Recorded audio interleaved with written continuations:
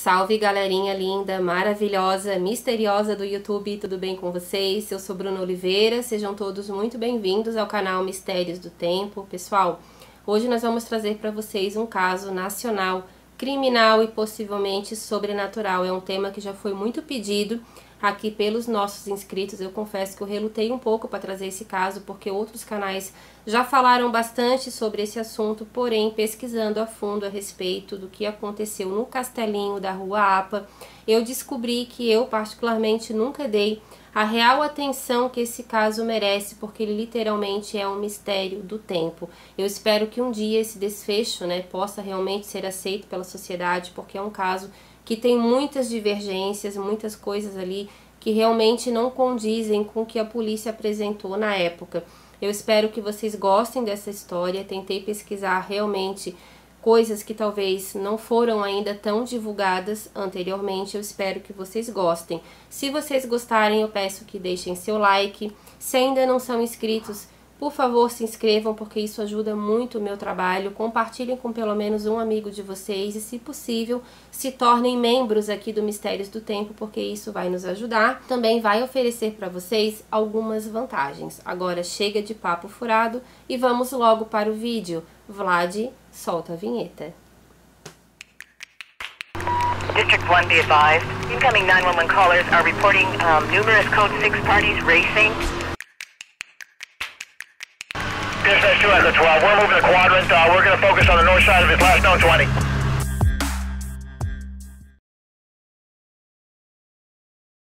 O Castelinho da Rua Apa é um imóvel histórico brasileiro localizado no município e estado de São Paulo, exatamente no encontro da Rua Apa com a Avenida São João. A mansão foi construída pela tradicional e rica família Reis, isso no ano de 1912. Porém, a obra desse castelinho só ficou totalmente pronta em 1917. Foi uma obra muito minuciosa, muito detalhada e desejada, porque na verdade a construção desse castelinho era um presente de amor. A família em questão tinha um alto padrão financeiro e era composta pelo médico e professor Virgílio Guimarães dos Reis sua esposa, a ex-professora Maria Cândida Guimarães dos Reis, mais conhecida como Dona Candinha, e seus dois filhos, Armando César e Álvaro. O senhor Virgílio era muito conhecido na cidade, na verdade a família toda era considerada uma família feliz, mas algumas pessoas já diziam isso principalmente após todo o crime ter ocorrido, que na verdade os irmãos nunca tinham se dado bem, isso logo desde a infância. Eles posteriormente decidiram ter a mesma profissão, porém eram personalidades muito diferentes. Mas enfim, a gente já vai chegar nessa parte da história. O senhor Virgílio era um homem muito conhecido, rico, tinha bastante propriedades. Uma das mais conhecidas era o Castelinho, mas a mais famosa até então, antes de tudo isso ter acontecido, pessoal, toda essa tragédia, a mais conhecida, na verdade, era o cinema Broadway. Esse cinema dava muito rendimento para a família, mas infelizmente ele teve as suas atividades encerradas em 1967. Em 1970 o prédio foi demolido, ou seja, não sobrou nada desse local que também seria bastante histórico, principalmente na cidade de São Paulo. O tempo se passou, os irmãos Álvaro e Armando cresceram, como eu mencionei para vocês, já antecipei. Eles escolheram a mesma profissão, apesar de terem personalidades muito diferentes um do outro, mas eles escolheram a profissão profissão de advogado. Só que o Álvaro, ele era dois anos mais ou menos mais velho do que o Armando. Ele sempre foi considerado um playboy, um homem que gostava de desfilar com a sua moto nas estradas, gostava de viver na boemia, tinha muitas namoradas, era considerado realmente um verdadeiro playboy, gastava muito, mas até então esses eram os pontos negativos dele, mas ele não era considerado um homem violento, porém ele era sim descrito como sendo um homem muito explosivo. Ele não era de levar desaforo para casa, mas ele não se metia em confusões na rua. Porém, a opinião dele em determinados assuntos realmente era muito forte e isso batia de frente com o irmão dele, o Armando, que era um homem considerado bastante discreto, muito sério responsável, só que outras pessoas falam que na verdade toda essa fachada que o Armando demonstrava ter escondia também alguns segredos e que algum tipo ali de inveja do irmão poderia também ter sido sentido por esse homem. Na época do crime, o Armando ele possuía uma namorada chamada Maria Cândida da Cunha Bueno, mais conhecida como Baby. Uma coincidência também nesse caso, até para vocês não se confundirem, que a mãe do Armando também era Maria Cândida, mas era conhecida como Dona Candinha é assim que nós vamos se referir a ela nessa história. E a outra Maria Cândida, que era namorada do Álvaro, era conhecida como Baby, então nós vamos chamar ela de Baby também para não dar confusão aqui nos nomes. A família vivia até então, aparentemente, pelo menos, muito bem, só que em março de 1937 a primeira tragédia assola essa família. O senhor Vigílio ele sofre um ataque cardíaco fulminante, inesperado, porque até então ele não tinha nenhum problema de saúde visível, deixando a dona Candinha muito desolada, gente. Assim, essa mulher era acostumada a dar belas festas no castelinho, que era um local onde muitas pessoas se autoconvidavam para conhecer, porque a estrutura dele interna dizem que era maravilhosa. Arquitetos franceses vieram para o Brasil para construir esse castelinho, tanto a parte externa quanto os detalhes internos dessa casa. Para vocês terem uma ideia, na sala de jantar da família havia uma espécie de teto de vidro. Isso já foi projetado a pedido do senhor Virgílio para que em noites de lua ele pudesse ofertar jantares românticos para sua esposa, porque dizem que era um casal pelo menos o esposo e a esposa eram muito unidos e muito apaixonados, e depois da morte do marido, ela mudou totalmente o seu estilo de vida, não aceitou mais que festas fossem feitas ali no castelinho, nem para comemorar aniversário de ninguém. Ela ficou muito reclusa, se dedicou exclusivamente aos filhos, que já eram homens formados, mas se dedicou somente a eles, e também à igreja, fazendo algumas obras de caridade. Após a morte do marido, dona Candinha permaneceu no castelinho, os filhos não moravam mais com ela. Eles já, eles já tinham né, as suas vidas fora, porém eles não eram casados e também não deixaram filhos, mas eles sempre viam a mãe, até porque o escritório de advocacia que eles possuíam ficava na parte térrea do castelinho. A história conta que o Álvaro não era muito assíduo no seu trabalho. Mesmo assim, tendo todos esses né, pormenores de playboy, de ser gastador, era ele quem coordenava as finanças da família, porém a dona Candinha, com o passar do tempo, após a morte do seu Virgílio, ela começou a seguir um pouco mais os conselhos do filho mais novo, que era um pouco mais contido nos gastos, e isso também acabou gerando algumas situações bastante complicadas entre os irmãos.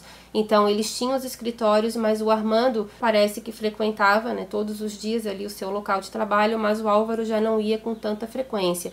Só que a dona Candinha, ela não morava exatamente sozinha na propriedade. Tinham algumas outras alas que ficavam no próprio terreno, aonde uma funcionária que é descrita em algumas fontes como sendo governanta e outras como sendo cozinheira. Então essa mulher também morava na propriedade, não exatamente dentro do castelinho. Essa mulher se chamava Elsa Lendenfelder e ela morava também junto com o esposo dela, que também era funcionário da família, um homem chamado Rodolfo.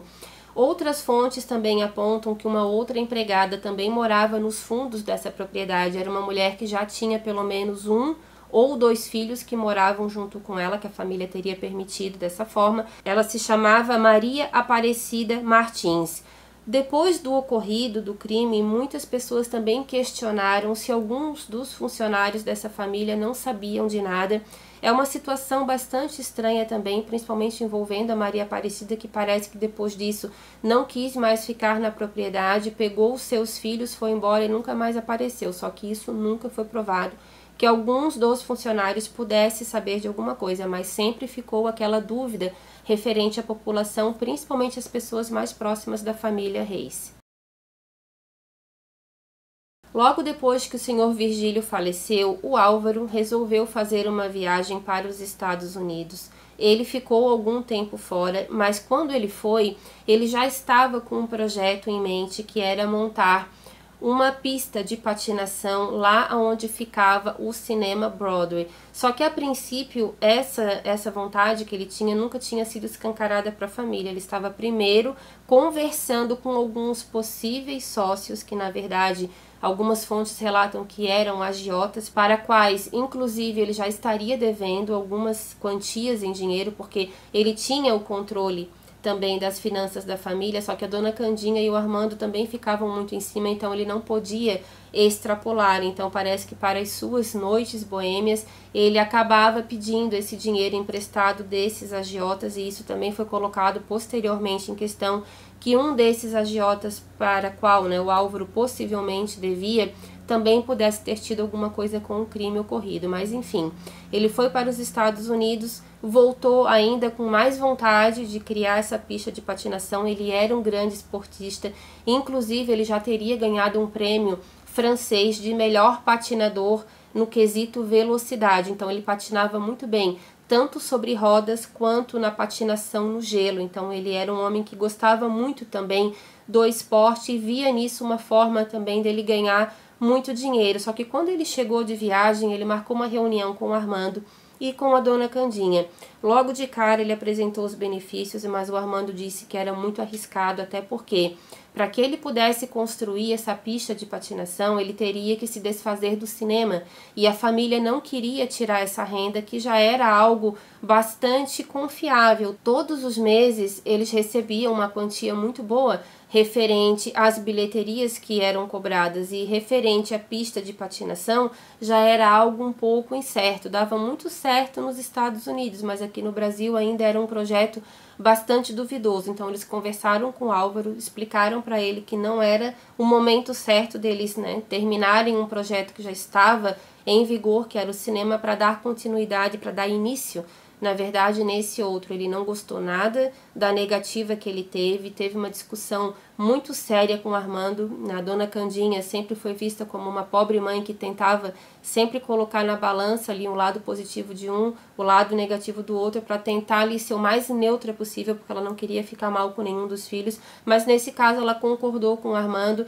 O Álvaro e o Armando eles já tinham ganhado uma parte da herança do senhor Virgílio, só que o Álvaro já estava devendo para muitas pessoas e para que ele pudesse colocar esse projeto em prática, a mãe precisaria realmente se desfazer de algum bem ou fazer algum empréstimo no banco e ela não aceitou. E isso gerou uma situação muito complicada. Os irmãos, eles já estavam discutindo no meio da rua. Muitas pessoas presenciaram cenas de brigas muito fortes, eles não chegaram à agressão física por muito pouco. E aí que entram também algumas teorias onde falam que essa história da briga dos irmãos se espalhou de uma forma pela cidade que talvez tenha chegado no ouvido de uma quarta pessoa tá? que nunca foi encontrada no caso desse crime, mas que alguém poderia já ter visto essas cenas, ter tido uma ideia de simular uma briga entre os irmãos, uma nova briga entre eles, e que um deles acabasse saindo culpado da história toda, né, que infelizmente aconteceu e de certa forma isso tudo pode fazer um grande sentido. O Álvaro começou a causar mais e mais problemas para a família, discutia muito com o Armando e algumas fontes falam que ele teria dito para o irmão em forma de desabafo, ele teria passado uma informação que pode ser ou não verdadeira, isso até pela parte dele. Talvez ele até tenha mentido, ou então realmente isso estava acontecendo, porque ele disse para o irmão o seguinte: Olha, eu preciso muito que vocês me ajudem, porque eu estou devendo dinheiro para agiotas, mas eu descobri que uma dessas promissórias que eu assinei foi adulterada e essa promissória foi acrescentada um zero a mais, ou seja, a dívida dele teria dobrado de valor, já era uma quantia muito grande que ele não tinha para pagar. E segundo o Álvaro teria dito para o Armando, ele já estava sendo ameaçado de morte, só que assim, gente, nenhuma promissória foi encontrada. Esses agiotas nunca foram encontrados, ou então assim, ou eles participaram realmente desse caso, tendo ajuda, inclusive até de alguma autoridade, porque isso sempre foi colocado pela família tá? Que algumas pessoas talvez até mesmo da política poderiam estar envolvidas porque os terrenos da família eram muito cobiçados. Isso nunca foi provado, mas é uma coisa que é muito comentada realmente nas fontes que falam sobre o castelinho da Ruapa. Mas enfim, o Álvaro teria mostrado, né, pra, para o Armando, teria comentado pelo menos para ele a respeito disso tudo, mas mesmo assim o irmão falou que não ia comprometer o patrimônio da família, que aquilo era um problema do Álvaro isso, então teriam tornado os dois irmãos praticamente inimigos. Na noite de 12 de maio de 1937, por volta das 21 horas, sons de disparos são escutados pelos empregados da família Reis e para algumas pessoas esses empregados talvez escutaram muito mais do que apenas o som dos tiros. Segundo alguns relatos falam, a Elsa, que era essa governanta ou cozinheira, enfim, ela estava nos fundos da residência quando ela escutou os disparos, mas ela não teve coragem de ir até a sala, que foi mais ou menos aonde ela imaginou que teria acontecido. Ela saiu pela porta do fundo, ficou em silêncio, mas ela queria encontrar o Rodolfo, que era o seu esposo, mas ele não estava onde ela imaginava, ele tinha saído um pouco mais distante ali do castelinho, junto com a Maria Aparecida, que era aquela outra empregada. Eles estavam fazendo algum serviço, foram comprar alguma coisa, não sei. Eu sei que no meio do caminho a Elsa então contou para o Rodolfo que ela tinha escutado. A Maria Aparecida também estaria junto, eles ficaram muito assustados, já imaginaram que poderia ter sido algum assalto, ou então aquela rixa que os irmãos tinham poderia realmente ter terminado em tragédia. Então, o que, que aconteceu? O Rodolfo teria pedido para as duas aguardarem ali nos fundos da casa, não entrarem na residência, que ele iria pedir ajuda. Nesse momento, quando ele saiu da casa, ele já teria encontrado então o guarda noturno que fazia ronda naquela região. Explicou para ele a situação e ele resolveu chamar a polícia. Ele não entrou sozinho também na casa. A polícia chegou e, ao entrar na residência, eles viram uma cena lastimável. Na verdade, ninguém esperava encontrar aquilo tudo. Três pessoas da mesma família estavam sem vida. Dona Candinha, com 73 anos, e seus dois únicos filhos, Álvaro, com 45 anos, e Armando, com 43, foram encontrados sem vida e com perfurações causadas por arma de fogo. De cara, logo de início, já teria sido cogitado que aquilo ali teria sido um caso de duplo homicídio seguido de suicídio. E logo de início, como todo mundo já sabia da fama de explosivo que o Álvaro tinha, já meio que deduziram que ele chegou na casa, discutiu com, os, com o irmão. A mãe, então, teria se metido, sobrado até para ela mesmo que sem querer. Então, para a polícia, mesmo antes de qualquer perícia ser feita, eles já deduziram que provavelmente o Álvaro teria sido o causador daquilo tudo e que ele teria tirado a sua vida logo depois. Só que assim, gente, esse caso é um caso realmente muito estranho, porque desde o início já teve algumas divergências entre os investigadores e também entre os peritos que fizeram toda a análise da cena do crime e também fizeram análise nos corpos, porque essa história do Álvaro ter tirado a vida dele logo após ter matado a sua própria mãe e também o seu irmão não, com, não eram condizentes com as posições que os corpos estavam e também na mão dele não foi encontrado nenhum vestígio de pólvora, diferente do Armando, que era o irmão considerado mais tranquilo. Na mão dele, sim, havia vestígios de pólvora, ou seja, para os peritos, quem tinha cometido toda aquela barbaridade não teria sido Álvaro, e sim o Armando. Só que outras divergências começaram a acontecer no meio do caminho. Peritos e investigadores praticamente se engalfinharam porque eles não concordavam um com a opinião do outro, e por incrível que pareça, prevaleceu a opinião dos, dos investigadores. A opinião técnica, análise técnica realmente dada pelos peritos não foi considerada nesse caso, e aí que entra aquela teoria que a polícia talvez teria cobertado esse caso, que possivelmente alguém da política poderia estar envolvido. Gente, olha, isso não é uma afirmação, isso são informações que eu encontrei em várias fontes que eu pesquisei, mas que realmente não dá para ficar na dúvida. Não tem como você não ficar na dúvida num caso assim, porque isso tudo foi muito estranho. No início, a polícia falou que a dona Candinha teria levado três tiros, para que alguns dias depois fosse então dito que não, que eles haviam se enganado e que na verdade ela teria levado um quarto tiro e que esse quarto tiro teria sido dado nas costas, porque assim, o que que não bate também é, para dizer que ali teve um caso de suicídio? Por quê? O Álvaro e o Armando foram encontrados praticamente um do lado do outro. O Armando estava com um tiro na têmpora. Era o único que levou um tiro na têmpora e foi considerado que foi um disparo com uma curta distância e na mão dele havia vestígios de pólvora. Então, aquela análise que os peritos fizeram que ele sim teria tirado a própria vida e ele teria sido causador de toda aquela barbárie, fazia um pouco mais de sentido, porque o tiro que ele deu na cabeça, ou que outra pessoa deu na cabeça dele, foi muito perto. Mas porque a mão dele estava suja de pólvora, a do Álvaro não estava. E outra coisa também que não batia com a opinião dos investigadores, que teimavam em dizer que o culpado foi o Álvaro, é que ele estava com dois tiros no coração. Ele foi o único que morreu de olho aberto. Eu não sei se isso tem alguma coisa a ver ou não, se eu estiver errada, vocês me corrigem. Mas algumas fontes falaram que no caso do Álvaro ter falecido com os olhos abertos, provavelmente ele teria sido pego de surpresa. E assim, gente, como é que uma pessoa vai tirar a própria vida com dois tiros no coração?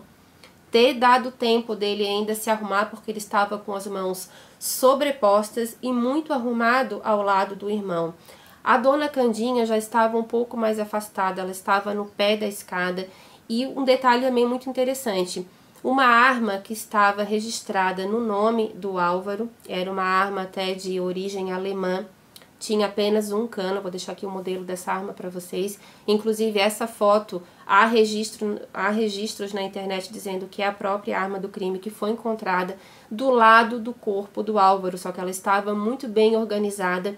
E assim, o Álvaro ele era canhoto e a arma teria sido encontrada e os disparos também do corpo dele não eram é, compatíveis com uma pessoa que era canhota, mais um detalhe. No caso, a dona Candinha levou quatro tiros, como eu mencionei para vocês, só que um detalhe. Dois dos projéteis encontrados, tá? Duas balas que estavam no corpo dela não eram compatíveis com a arma do Álvaro, ou seja, dois tiros que ela recebeu foi de uma outra arma que nunca foi encontrada. Então, assim, gente, é uma coisa um pouco óbvia se realmente duas das balas do corpo dela não eram compatíveis com a arma encontrada, uma outra pessoa estava na casa. Ou alguém retirou essa arma com medo de ser incriminada, de repente era uma arma de alguns dos funcionários, não sei, mas uma coisa é fato, outra pessoa com certeza participou de tudo isso. E pelo que eu entendi, pelo que foi sempre colocado nas informações desse caso, a polícia também nunca fez muita força para tentar descobrir de quem era essa outra arma. É um caso que aconteceu na década de 1930. A gente sabe que nesse período as técnicas né, da perícia, as técnicas para avaliar um caso assim, não eram muito avançadas, então eles trabalhavam com o que eles tinham na época, mas mesmo assim, alguns policiais que estiveram no Castelinho também não concordaram com aquele desfecho, porque assim, não teve muito tempo de investigação e logo depois a polícia então confirmou e deu esse caso como encerrado, dizendo que o Álvaro foi o culpado, que ele tirou a vida da mãe, do irmão e depois tirou a sua própria vida com dois tiros no coração, tendo tempo ainda assim de se arrumar ao lado do corpo do irmão e a questão daquelas duas balas diferentes que foram encontradas no corpo da dona Candinha não foram mais investigadas e tudo o que os peritos falaram simplesmente foi ignorado, que tornou esse caso ainda muito mais misterioso. A Baby, que era a namorada do Álvaro, ela estava com ele no dia em que tudo aconteceu. Eu não sei se ela prestou depoimento na polícia ou se isso ela comentou com alguma fonte jornalística, porque assim, era uma mulher que na época ela já não era muito bem vista na cidade por causa do preconceito. Ela já tinha sido casada, ela era uma mulher divorciada, ela não tinha é, medo de ser uma mulher à frente do seu tempo, e isso, infelizmente, na época era considerada uma coisa assim, nossa, esdrúxula, né? Ela era mal vista na cidade por causa disso, mas ela não estava nem aí, vivia a vida dela, enfim. Ela falou o seguinte, que ela estava com Álvaro no dia em que tudo aconteceu, que naquela noite, mais ou menos umas 19 horas, ele recebeu um telefonema. Ela não sabe exatamente quem era, mas o Álvaro teria dito para ela que achava o, que era o Armando, dizendo para que ele fosse no castelinho que eles precisavam conversar. Só que assim, o Álvaro provavelmente já saiu bastante desconfiado porque ele levou a arma junto com ele. Eu não sei se nesse caso ele já era acostumado a andar armado ou se realmente foi já imaginando que alguma coisa poderia dar de errado. Ela queria ir junto com ele, mas ele disse que não, que era para aguardar ele chegar em casa. Então ela disse que achava que era o Armando. Então assim, gente, será que realmente foi o Armando? Será que o próprio Álvaro já não achou estranho o tom de voz, porque poderia ser alguém se passando pelo irmão dele? Poderia ser um agiota que já estava lá esperando, ele não quis dizer para a namorada para não deixá-la nervosa. Ou então poderia ser realmente o Armando, mas será que ele estava sozinho com a dona Candinha? Ou ele já estava sendo vítima ali de uma espécie de sequestro? Porque uma coisa é fato. A Baby falou que o Álvaro saiu muito nervoso de casa. Leda de Castro Kill, que é sobrinha neta de Dona Candinha, disse o seguinte em uma entrevista à revista Veja. O laudo da polícia foi muito mal feito. Não sei dizer quem é o assassino, mas tenho certeza de que não foi nem o Álvaro nem o Armando. Os documentos que reuni para o livro mostram isso. Então, assim, gente, a Leda, ela escreveu um livro chamado, se eu não me engano, chamado Mitos e Verdades sobre o Castelinho. Até vou deixar aqui a foto para vocês, para que vocês, né, de repente, tenham interesse também em procurar por essa história, porque dizem que a Leda reuniu bastante informações e ela não acredita que nenhum deles tenha sido o verdadeiro assassino. Ela sempre acreditou que uma outra pessoa estava na casa e que a polícia também não fez muita força para tentar descobrir. Logo após o enterro da família no cemitério da Consolação em São Paulo, alguns interessados na herança deixada começaram a aparecer, entre eles parentes e também políticos. Só que assim, essa família, ela praticamente acabou no sentido de parentes de primeiro grau, porque nem o Armando nem o Álvaro tiveram filhos. Só que eles tinham também sobrinhos, tinham primos, a dona Candinha, não sei se ainda tinha alguma irmã, algum irmão vivo. O senhor Vigílio também, não sei se deixou algum irmão, enfim. Mas alguns parentes ali de segundo, terceiro grau começaram a aparecer para tentar pegar a sua parte da herança. Só que nessa época, uma lei criada pelo presidente, ou aprovada pelo presidente na época, que era o Getúlio Vargas, essa lei impossibilitava que parentes de segundo e terceiro grau tomasse posse em herança, não sei se somente em casos assim, onde, onde tinha ocorrido algum assassinato, ou se isso valia né, em uma regra geral. Eu sei que esses parentes contrataram alguns advogados para tentar pegar essa parte da herança, mas não teve jeito. Com essa lei em vigor, eles não conseguiram nada.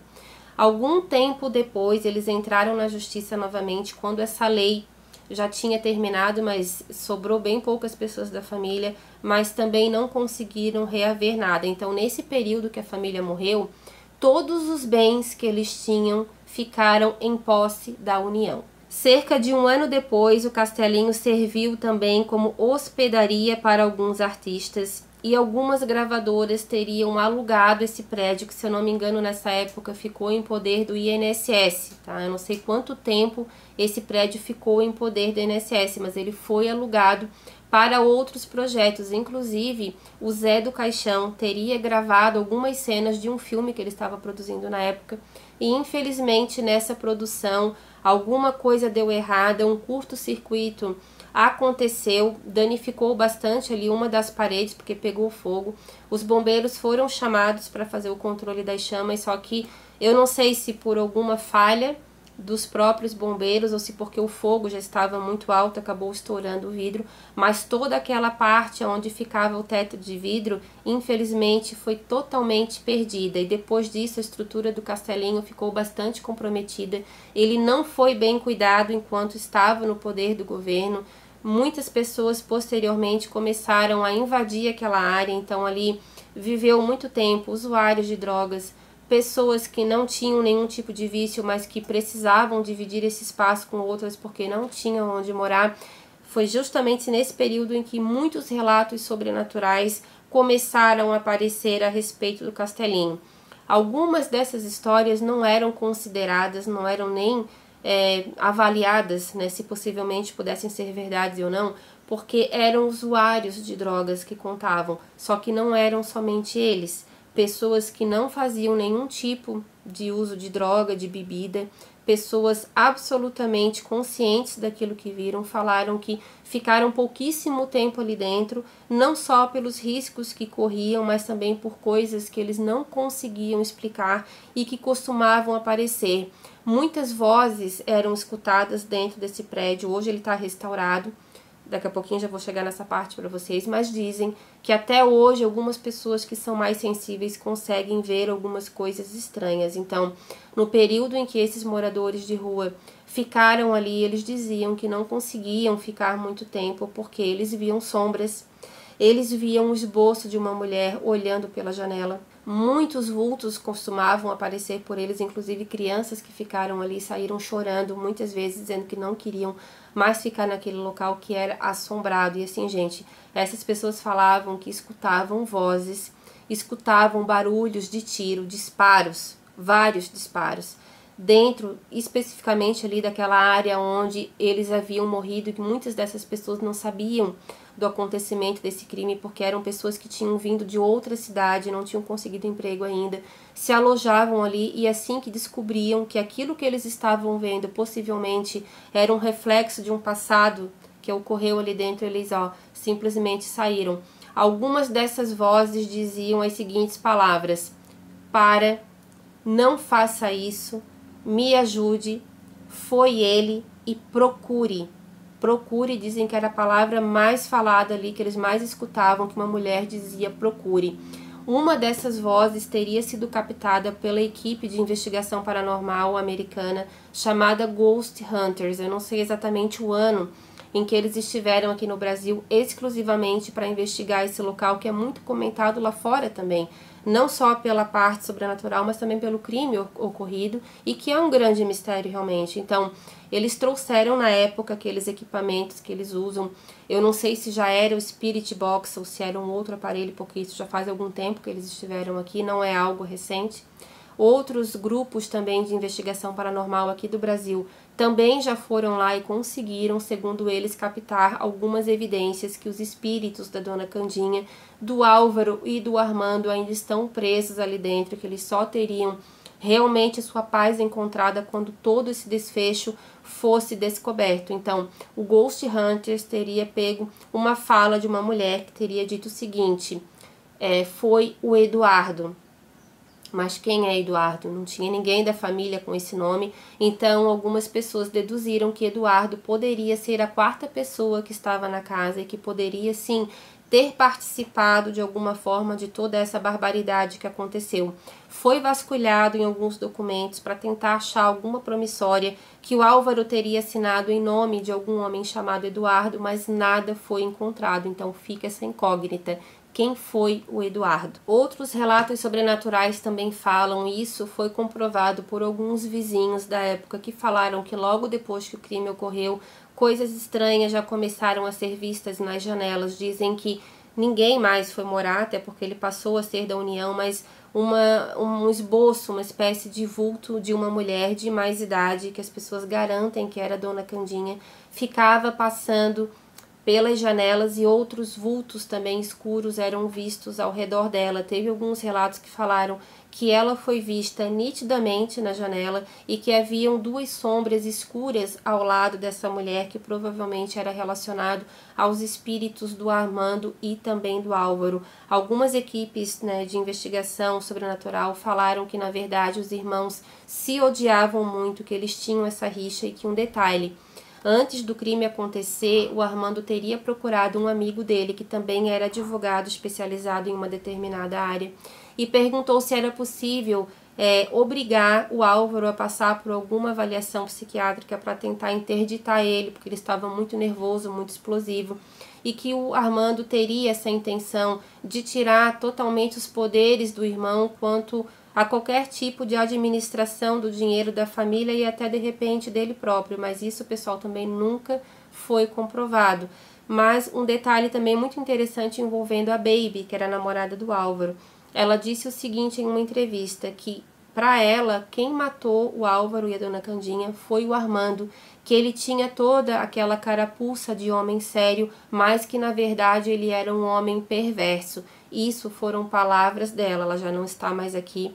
Ela morreu com cerca de 97 anos e há uma história também muito bonita envolvendo a Baby, porque desde que o Álvaro faleceu, ela nunca mais quis aparecer muito em fotografias. Eu consegui apenas uma foto dessa mulher em uma fonte que foi cedida por alguém da família no momento em que ela estava batizando uma criança.